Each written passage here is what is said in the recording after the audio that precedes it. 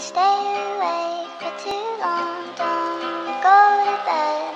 I'll make a cup of coffee for you. Hey there, welcome to Story Time. Today's story is Spot's Holiday. It's holiday time and Spot is going to the beach. What do you pack when you go to the beach? Yes, you pack your swimming trunks, your towel, sunscreen, beach ball, sand toys, floats, sunglasses, hat, and something to eat and drink.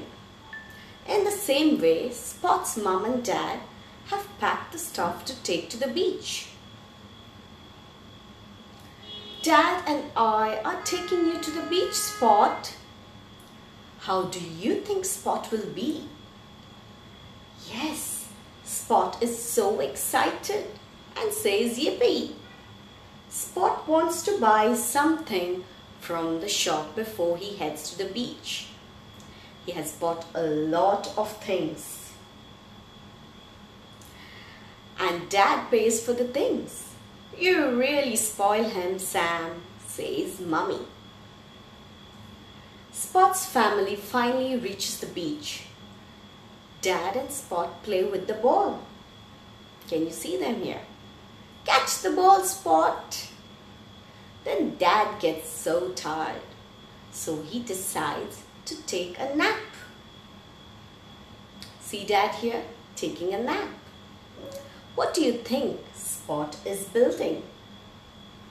Yes, Spot is building a sandcastle.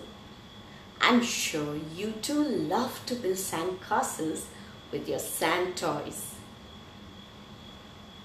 Now here is mom and she's looking for dad. Where is dad? asks mom. And Spot has covered dad with the sand. So there he is under the sand. Dad and Spot goes boating. Spot is wearing his float. Yes, why do you need to wear a float?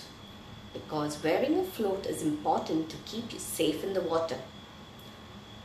Spot, says Dad, I have caught a fish. And saying this, Spot falls into the water. Puppy overboard, says Daddy. But Spot is all right because he's wearing a float. Now it's time to go home after spending a long day at the beach. So, mom and dad pack all the stuff, but where is Spot again? What has Spot found now? Spot has found a new friend here. Dad and Mom asked Spot to say bye to his new friend and promise to come back tomorrow to the beach again. So that's the end of the story. I hope you like listening to the story. It's bye now from Miss Priya. See you tomorrow for another story. Take care.